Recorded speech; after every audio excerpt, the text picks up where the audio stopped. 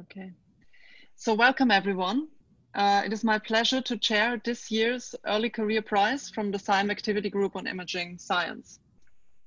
Let me start telling you a bit about the prize that we are awarding today. The SIAG Imaging Science awards the SIAG IS Early Career Prize to one individual in their early career for distinguished contributions to the field of imaging science. The first prize was awarded in 2016 to Mauricio Delbracio. No award was made in 2018 and is now awarded for the second time in 2020. The selection committee for the 2020 award was composed of Gitta Kutyniok as the chair, Julianne Chung, Omar Ghattas, Stefan Wild, and myself. This year, the SIAG IS Early Career Prize is dedicated to Mila Nikolova, who passed away in 2018. Mila is known to many of us for her substantial contributions in optimization, in particular the analysis of solutions to optimization problems and application of optimization techniques in image processing and inverse problems and has been an important mentor for many early career researchers, including many, I'm sure, in the audience today. The SIAG Imaging Science Early Career Prize in 2020 is awarded to Yaniv Romano for his major contributions to several areas of imaging, in particular in combination with statistics and data science. Yaniv is a postdoctoral scholar in the Department of Statistics at Stanford University, mentored by, by uh, Emmanuel Candes. He earned his PhD and MSc degrees in 2017 from the Department of Electrical Engineering at the Technion under the supervision of Miki Elad. Romano's research spans the theory and practice of selective, in, uh, of selective inference, sparse approximation, machine learning, data science, and signal and image processing. His goal is to advance the theory and practice of modern machine learning, as well as to develop statistical tools that can be wrapped around any data-driven algorithm to provide valid inferential results. The talk, the title of his prize talk today is Regularization by Denoising, RED. Um, and I really look forward to your talk now, Yaniv. So the word is over Thank to you. you. Thank you very much for your uh, kind words. Uh, thank you everyone for attending and special thanks again for the committee for providing me this unique and very exciting opportunity to be at this stage and communicate with you my knowledge about RED, so thanks. Uh, so this is a joint work with these two titans, uh, Mickey and Peyman, my collaborators, mentors, friends, uh, what I do know is that I'm extremely lucky to have them in my life. So thank you, Mickey and Peyman. So our story starts with this, what we call little engine, a denoising algorithm, aiming to address one of the most fundamental tasks in our field, the denoising problem. Here, what we get to see is a noisy measurement, Y, of some unknown image X, contaminated by white Gaussian noise V. So the way it works and the way I will denote my denoiser is this with this function f that operates on y and spits out an estimate x hat that should be as close as possible to the unknown x. And of course, this attracts a lot of attention. And what I'm showing you here is a timeline trying to summarize around 20,000 papers just published on denoising, on image denoising start from L2 based regularization, go through robust statistics. The 90s was amazing decade for this. Think about wavelets or PDE methods such as total variation, or even heuristic methods such, as bilateral filter that I'm certain that is still being used by many sensors to this date. A better variant of them are these self-similarity methods such as the non-local means, and I'm sure that most of you are familiar with and more recently, we get a BM3D that combines ideas from wavelets and, and self-similarity, or KSVD that relies on dictionary learning, a method that is very close to my heart. Other patch-based methods, such as the PLL, and more recently, the neural nets ideas. Of course, this could not pass our field as well. So you may wonder whether this problem is dead. Of course, this is so practical problem and every paper improves over the other. Actually, Peyman and his student asked this question in 2010, 10 years ago. Is denoising dead? And the rationale behind this question is the following. Think about it. There's so many different algorithms relying on completely different ideas or priors, and yet they perform almost the same. Actually, you can write down the math behind it, and that's what uh, Peyman and his students, and later Levin and Nadler. And what I found is that we're indeed not that far from the ceiling in terms of the MSE sense. So the bottom line, at least the way I see it, is that largely speaking, well, the denoising problem seems to be dead. Or if you disagree about this with me, probably you agree that improving denoising performance in terms of MSE at least seems to lead to diminishing returns. So in this work, instead of trying to improve existing algorithms, what I will do, I will leverage this very impressive achievement and try to use it to solve other problems in imaging. Think about super resolution or deblurring. Formally, I will denote the problem of image recovery by minimizing this map energy function, which has two terms. The left is the negative log likelihood, this LXY. And if you're in the business of deblurring, I'm sure that you're familiar with this notion. H X minus Y, where H is the blur kernel. On the right, this Rx is the holy grail of our field. The prior, the regularizer. Loosely speaking, what does it mean to be a good looking image? Again, we have this vast evolution of denoising priors that developed over the years. And what we are asking ourselves here is, how can we take these very impressive denoising algorithms and formulate them as priors for imaging to solve and address other tasks. I want a fully flexible scheme. I want a general scheme. So I will show you in this talk that a denoiser can do much more than just denoising. And this set of ideas relies or inspired by these two great words, plug and play priors and Laplacian regularization. So here is the plug and play. That's the title, at least, of the original paper, as far as I know. It's a beautiful piece of work, and I know that the next talk is about the is about it. So I'll try to say a few words about it. But that's quite of remarkable. It's a short paper, four pages, if I'm correctly, that made a huge contribution. And the reason, at least the way I see it, is that it puts in the center the idea that a denoiser can serve as a regularizer in some sense. So the original idea is to minimize this map energy function. It's hard to solve a problem using the ADMM. So it's a very nice optimization trick that allows you to split hard to solve problem into easy to solve subproblems. Concretely, suppose that we are in this business of deblurring. Again, my L is Ajax minus Y L to norm. Now, if you write down carefully the equations of the ADMM, you will get to see that we need to iterate these two steps many, many times. First step involves a solution of a linear system of equations, AKA sharpening step, so to speak. Then this is followed by a denoising step. You denoise the sharpened image. So now you need to repeat this many, many times. Sharpen, denoise, sharpen, denoise, sharpen, denoise.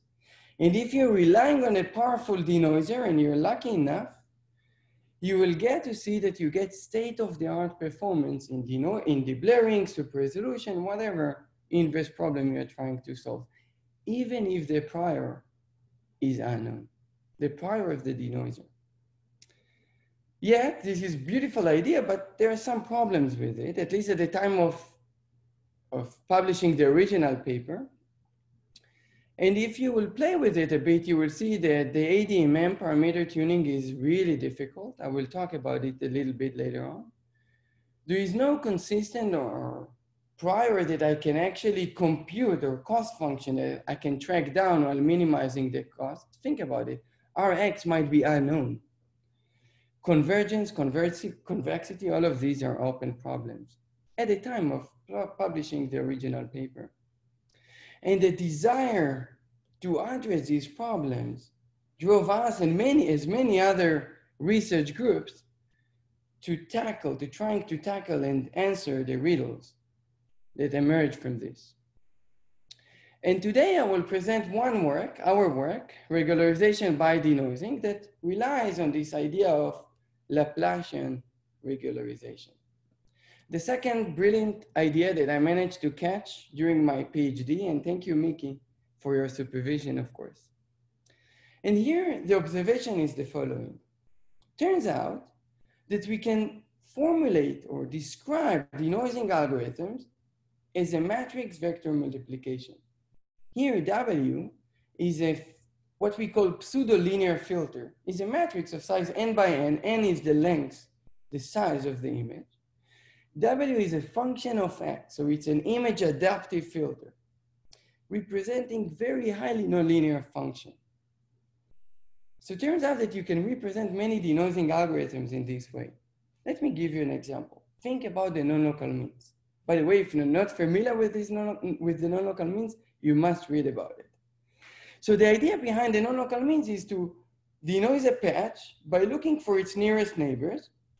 So that's highly nonlinear operation, obviously, and compute some sort of similarity weights, another nonlinear step.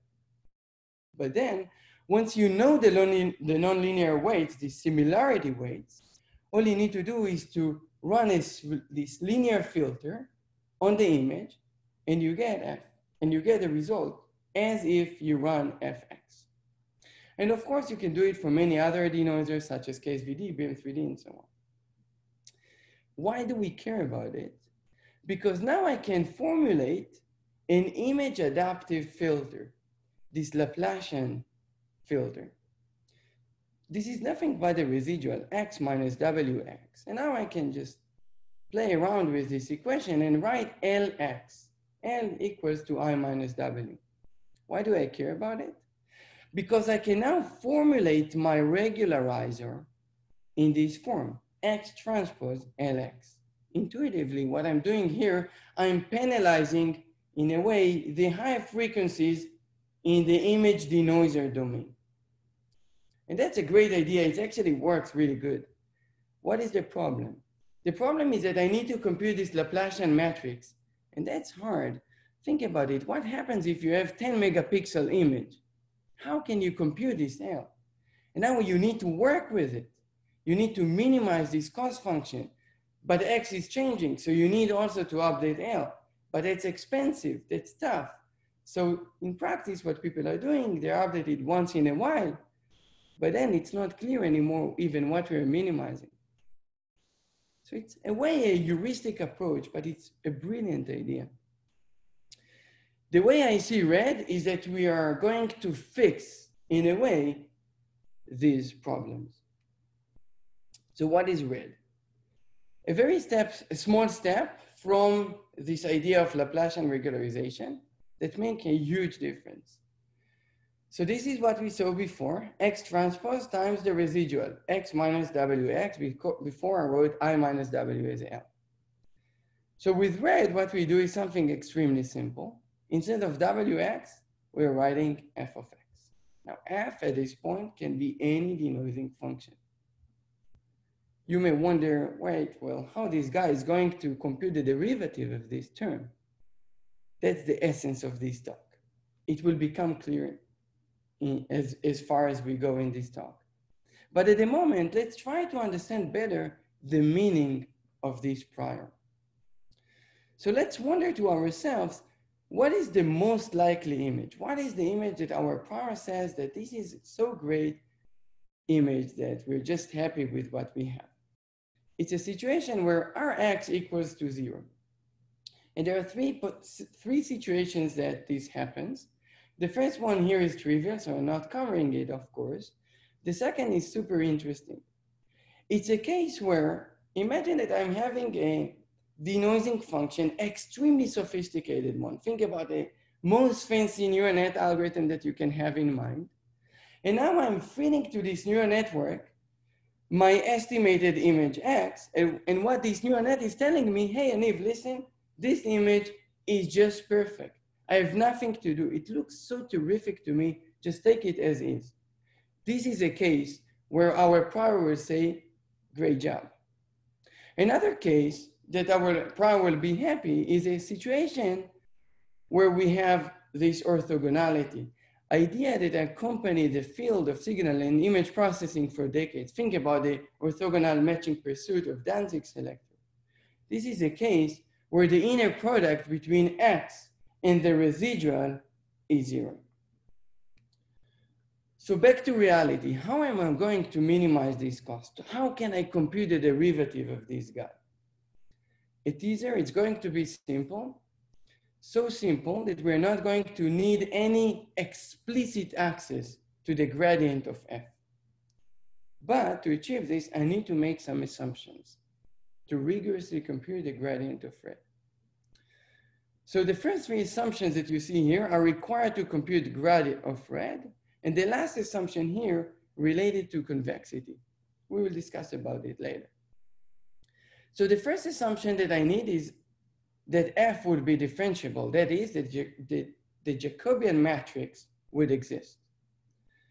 Second, I need f to be local homogeneous. What does it mean? The homogeneity property, I'm sure that you're all familiar with it.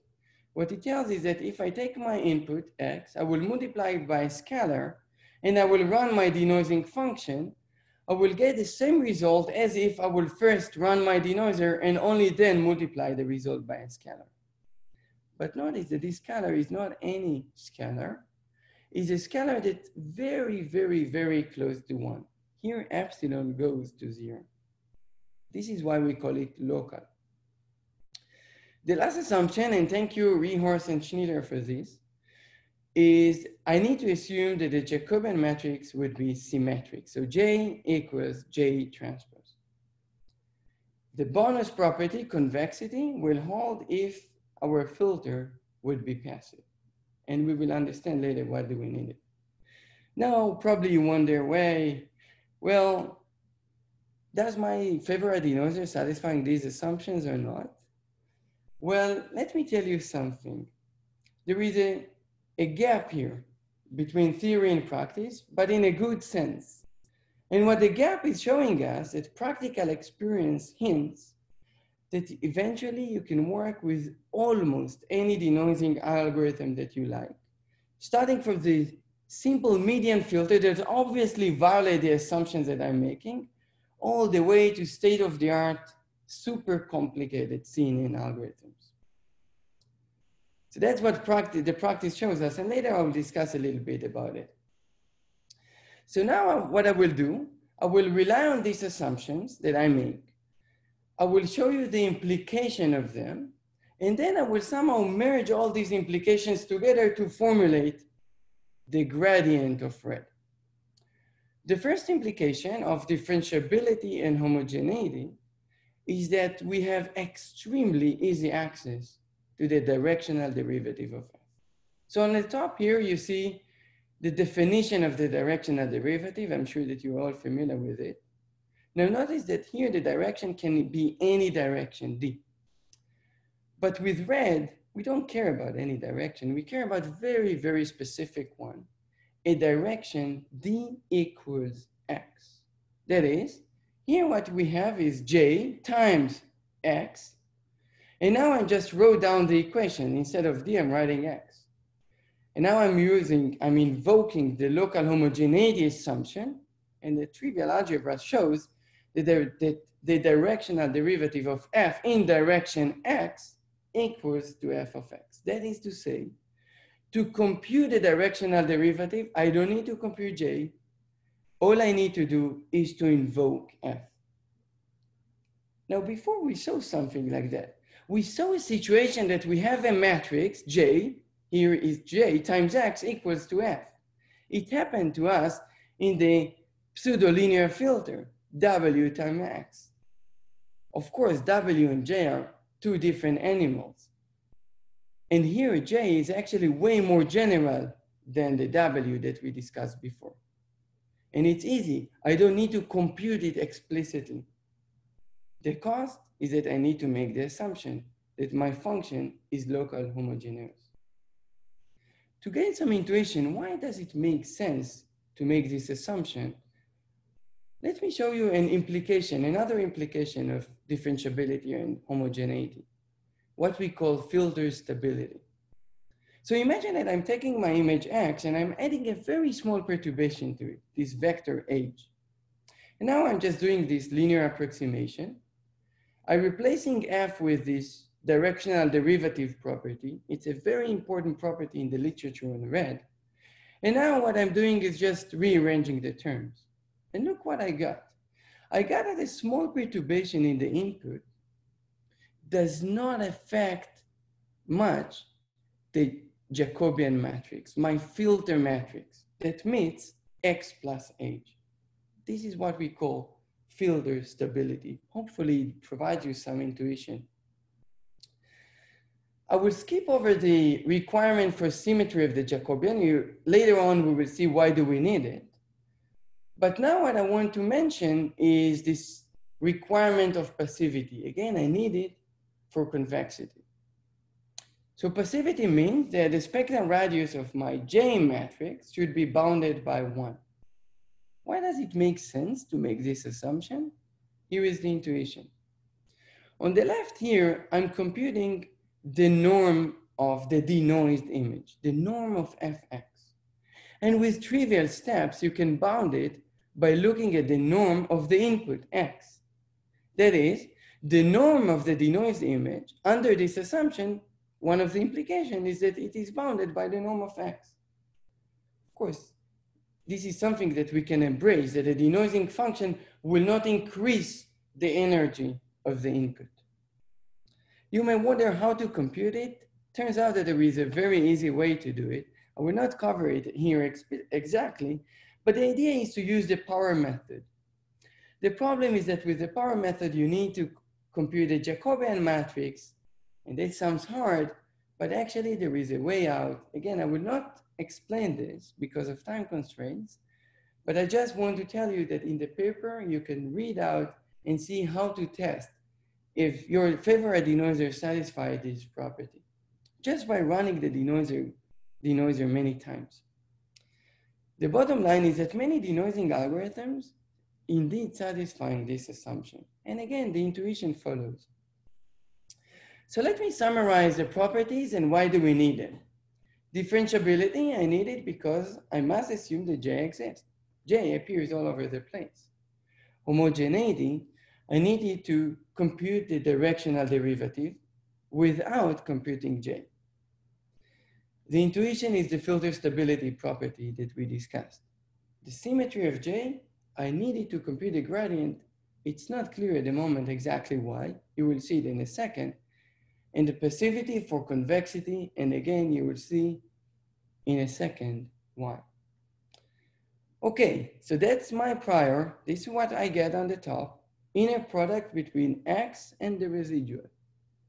Now let's together carefully, let's compute the derivative of this guy. x transpose x, the derivative is just x, that's easy. And now we ended up with computing the derivative of x transpose f.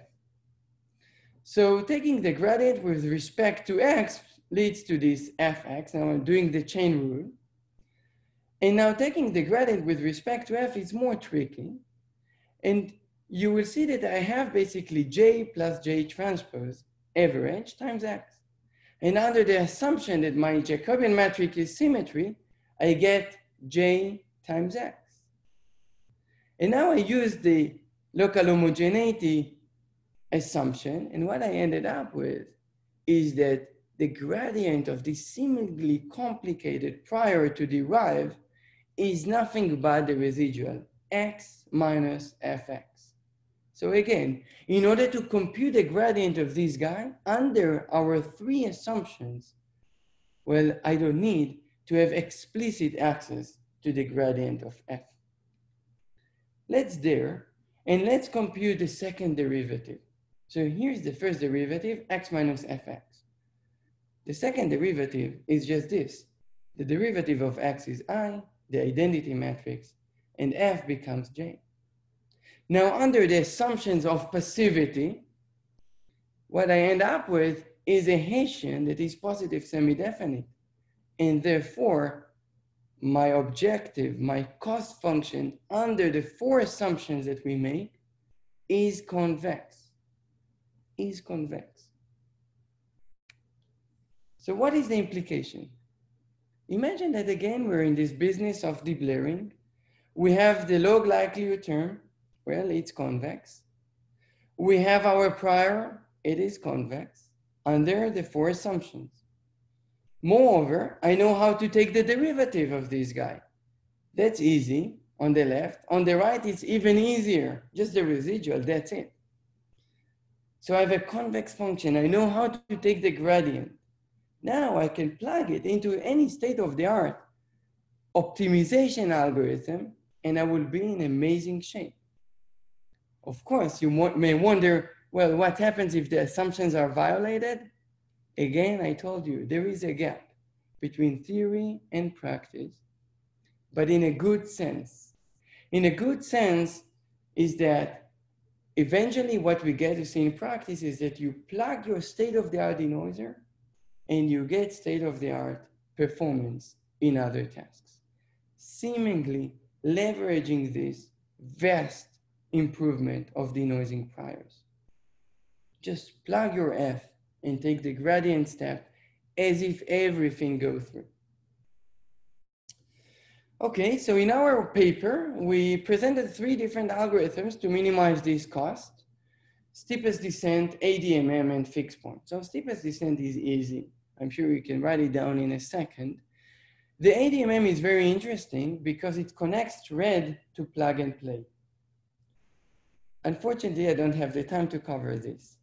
So we'll just continue to describing the fixed point, and I will show you that there are very interesting implications of this algorithm.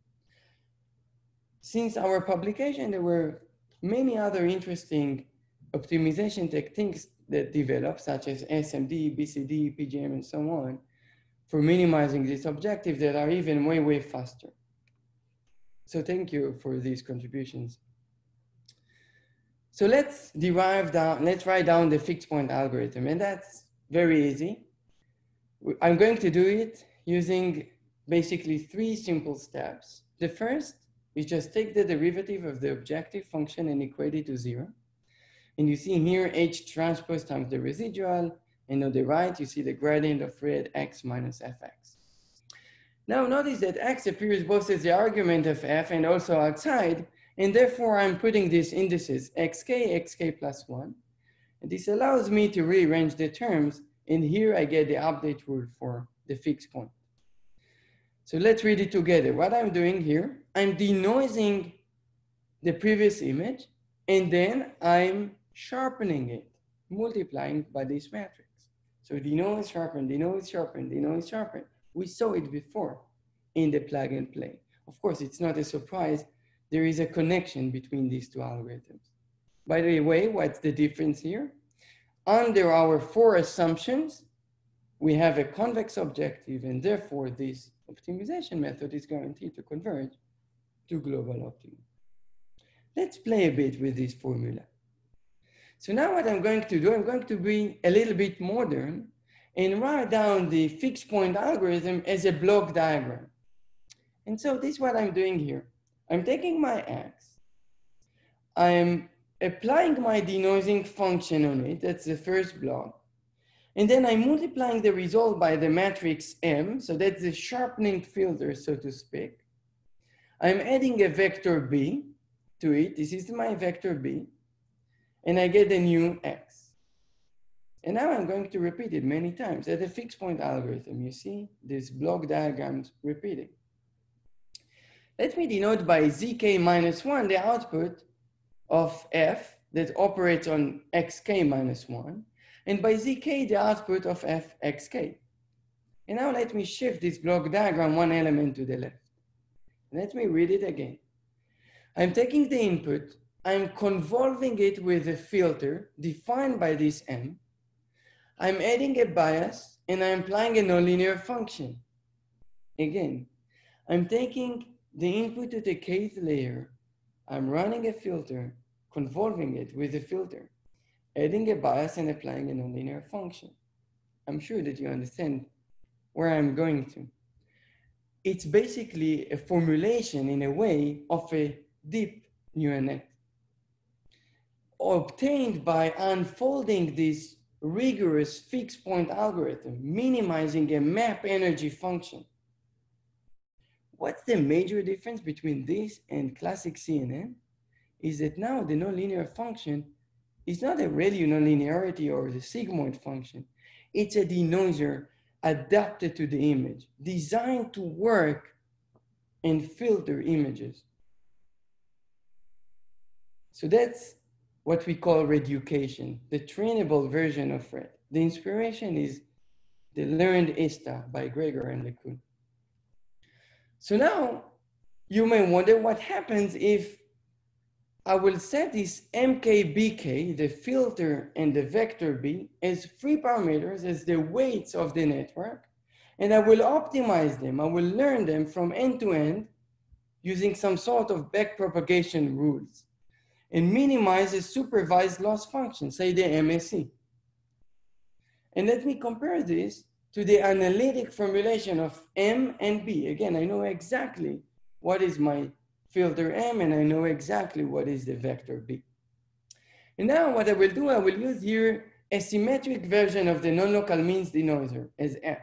Actually in Reducation, in this paper that I published together with Miki and Peyman, we derive these backpropagation rules that you can work with even a denoiser like the non-local means. Of course, it was if it was a neural net, it was very easy. Just use PyTorch or TensorFlow. And now let me show you what happens if I'm learning this M and B. On the right, let's just look on the right figure, the root mean squared error versus the number of iterations or the depth of the network is just the same because again, I'm unfolding the fixed point algorithm. The blue curve here corresponds to the analytic rate, that is, run the fixed point with a fixed M and fixed B. The red curve that you see here corresponding to learning the, ve the vector B in the matrix M. And as you can see, we get better reconstructions with less iterations. So now let me compare it to other methods. And now there is no learning involved anymore. I'm just using the fixed point or steepest descent or ADMM versions of it with this matrix M and vector B. So no end-to-end -end learning. Let me start with some deblurring results. And of course, I'm not expecting that you can tell the differences between the images. There is a special reason that I'm showing you this picture. The median filter that you see in the top right. So what I'm having here is this. I'm taking my ground truth, I'm now blurring it, so that's the input, a blurred version of the ground truth contaminated by some noise. And now on the right, I'm just running the fixed point algorithm where I set the denoising engine to be the median filter. This so trivial algorithm to work with. And look what we get. Of course, if you plug in better denoisers, such as the TNRD, which is a state-of-the-art CNN method, you get way better performance. I'm sure that you can compare at least the PKSNR values here. And the result is very similar, by the way, to the ones that you will get if you run the plug and play using the same denoiser, the TNRD. And all these results compare to other state-of-the-art methods designed to specifically, for instance, for deblurring tasks. The reason I'm showing you this table is to just to say that red and plug and play are very much competitive. In fact, in terms of performance, denoising or deblurring or super resolution performance, there is no much of a difference between the two. We also apply super resolution and we also got state-of-the-art results. Yet, you may wonder, so what is the difference between red and plug and play? So one of the I think, in my view at least, major differences, at least at, again, at the time of me measuring, working with the plug and play using the ADMM scheme, is that I found that red is extremely robust to the choice of hyperparameters in the optimization technique itself. So let's understand this better. What I'm plotting here is the PKSNR value versus the number of iterations of these iterative minimizers, minimization algorithms that we work with. So that's what you see in the colored curves, the steepest descent in red, the fixed point algorithm in green, and the ADMM in blue. And you see the dynamics of these algorithms is different, but what is amazing is at the end, we get extremely, exactly, sorry, the same PKSNR value. In contrast, if you look at this black curve, this curve corresponds to the plug and play work with the ADMM. So it goes up, it is touching the same PKSNR value actually, surprising even, but then for some reason it drops. And you may say, hey, maybe Yaniv does not know how to work with the ADMM. And here is what happens if I use the plug and play with different hyperparameters of the ADMM method itself. Again, this, this behavior basically motivated us and many others to come up with better solutions for this optimization task.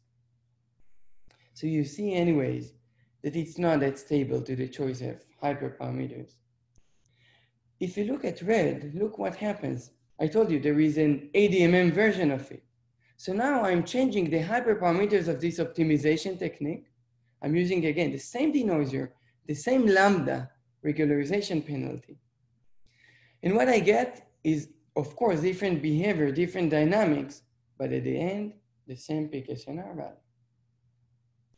We also deploy this technology for video super resolution. So the task here is the following. You get to see a sequence of low resolution frames, and you somehow want to leverage them to construct a high resolution video. The classic approach based on this, based on this very simple idea. Let's align these low resolution frames somehow, and then fuse them to form the high resolution video. What is the challenge? The challenge is that I need to somehow align the images, and therefore I need extremely accurate sub-pixel motion estimation algorithm. But that's hard because I have noise and because the images are blurry.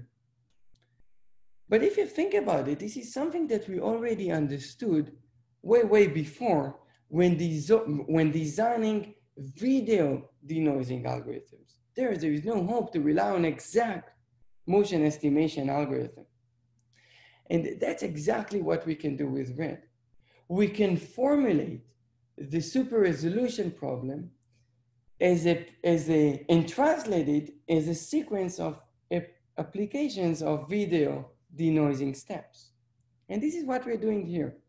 I took the ADMM version of the plug and play, of the plug and play or RED, and I plugged with it the VBM3D, an algorithm that published more than 10 years ago. And look at the results on these sequences of videos. In terms of PKSNR, we are outperforming by a large gap a state-of-the-art video super resolution based on deep neural nets. Another cool application by my colleagues, Peyman and Miki, and the student Gary, is to empower the deep image prior using RED. So I don't know if you're not familiar with this idea of deep image prior, it's a brilliant concept that instead of the classic line of thinking that you feed a network where you feed to it the input, the degraded input, and you get in the output its high resolution version, if you're in, in super resolution, for instance, what the authors of the deep image prior suggested is to fit, fit to your neural net a specially designed noise seed. And then you somehow synthesize the high resolution video, or sorry, the high resolution image. So this is a brilliant idea, but unfortunately, it does not perform as good as state-of-the-art super resolution techniques. And what Miki, Peyman, and Gary showed is that if you use this idea of RED, together with the deep image prior, you get very, very impressive performance. So in a way, it's a hybrid approach of synthesis and recovery. As for the theoretical question, The way I see it at the moment is that the theoretical justification of RED is still an open question. And actually what Reehorst and Schniter educated us in a very interesting paper is that if your denoising function, if J is asymmetric, there is no prior whose gradient is the residual. And that's extremely, extremely surprising. Why? Think about it. All the results that I showed you before, the video super resolution, the signal, the single image super resolution, the, the blurring results, all of them are relying on this gradient step of taking the residual. But what they're telling us is that there is no prior that exists if J is asymmetric. And actually there are denoising functions that whose J is asymmetric. So they come up with this score matching by denoising a variant of red that suggests a way out, suggests a way to explain this phenomenon. Another very surprising paper published very recently, at least on, I think it's on arXiv, is this Red Pro by Peyman, Miki, and Regev. And I'm sorry that I'm biased towards the publications of my colleagues. But this paper is extremely interesting. What this paper is doing is that it offers a unified approach for red and plug and play. A new variant of the map energy function that I described before. And if you look at this new variant, you get to see the connection between red and plug and play. Moreover, they suggest increased flexibility in choosing the denoising function to minimize this new map energy. And also they prove that you get global convergence, of course, under some assumptions. So to wrap up this talk, this talk is about red. I would say that there is a new prior in town, as Miki said in his course on sparse representations, that's based on a denoising function. So here we are leveraging the great advance, these impressive achievements, the denoising problem is nearly solved. And now we are using these denoising functions to solve other problems in imaging. The message is literally this, take your favorite denoiser algorithm, your state-of-the-art denoiser, and obtain state-of-the-art performance in other more challenging tasks. I think that the appealing property of red is that there is no need to explicitly compute the derivative of f. And now you can just solve many other inverse problems with this technique. Open questions and challenges. First, I think a question that blows my mind, for instance, is that how can we design denoising functions that satisfy red conditions? that satisfy red assumptions? How can we bake these assumptions inside the formulation of F? Of course, you will benefit a lot if you will be able to do it. The second point is to move beyond MSE. I think that we're tired about this measure a bit. And I think that, for instance, the work by Gary, Peyman, and Miki is a way of thinking towards this this direction. Combine synthesis with red in some sense. And lastly, of course, this open question of what happens if red's assumptions are violated. If you read carefully the paper by Peyman and Miki, for instance, you will see that indeed they suggest some solutions, but there are also very interesting open questions that emerge from this. So that's it. Uh, I want to thank again the committee for this amazing opportunity to be at this stage and give this prize lecture. So thank you so much and thank you for your attention. Thank you so much, Yaniv. Uh, I, I clap my hands. I think uh, um, uh, on behalf of everyone. It was a really great talk. Thank you so much. Yeah, thank you. I'm happy to. Um, So uh, just to remind everyone uh, that you can ask questions uh, via the Q&A box or the chat. Uh, and while people are thinking about questions, let me ask you a first question, Yaniv. Yeah. Um, are there um, common denoisers uh, that fulfill uh, conditions uh, that you need for red? Are there are there examples of denoisers which fulfill those? That's good. That's a great question. Uh, actually, I spent the last few days because I didn't work on this for a while. I spent exactly these uh, last days to think about it.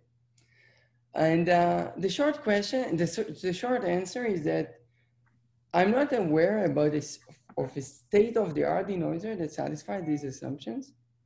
Um, there are some examples that I can give you, such as the Wiener filter, the L2 regularization, of course, it will satisfy this. But to rigorously answer this, let's think about the assumptions and let's think what kind of algorithms would satisfy them. Let's start with the symmetry assumption. J should be equal to J transpose. This holds for MMSE denoisers. This holds for denoisers that are the outcome of an, a solution to a, a rigorous optimization problem that you formulate. For instance, the minimizer of a map energy would satisfy this assumption. Mm -hmm. So that's the symmetry. Uh, the differentiability, okay, that's clear. The local homogeneity is very tricky. For instance, um, there are denoising functions that you might think that are satisfying this, such as a thresholding techniques, but unfortunately they're not. And so the, the way I think about it is that if I have a cost function that is strictly convex and smooth, I expect it to satisfy this assumption. Mm-hmm. And the passivity, in my view, almost any denoiser would satisfy. The intuition is that I'm not going to increase the energy. So that basically takes me to this future direction that I mentioned. I think that it's doable to design algorithms that are satisfying red assumptions but then you need to be very careful in the way that you formulate your, for instance, map energy function that drives you to get your F. Super. Um, so thanks a lot. And I think that leads very nicely to a question that uh, Antonin has. And Antonin, if you're, uh, if I'm not putting you too much onto the spot, then I think I can allow you to talk, which is maybe easier. So you should be allowed to talk now, Antonin, if you wanted to ask a question. Hello. Hey. Hello. Yeah. I did, I did not prepare a microphone. I don't know if it, this will work. Yeah, we uh, it works. I have two, two questions, remark. Uh, so uh, the, this local homogeneity is a bit strange because I don't see how it's not completely equivalent to global homogeneity, and in particular, yeah. It means you don't have regularity at zero, but it's not very important, I think. But I, am I'm, I'm a bit puzzled by this local homogeneity because so, it's global. I mean. So again, I don't understand the question. Why do we need a local homogeneity or? No, why, why do you define a local homogeneity, which for me is oh, equivalent to global homogeneity? I mean, positive homogeneity. Uh, yeah, the, I understand. The, the reason is that uh, if you think about the directional derivative property, um, so in the direction of derivative property, right, that's the definition, and epsilon goes to zero. Hmm. And that's the only reason, so that's the place where we invoke this assumption.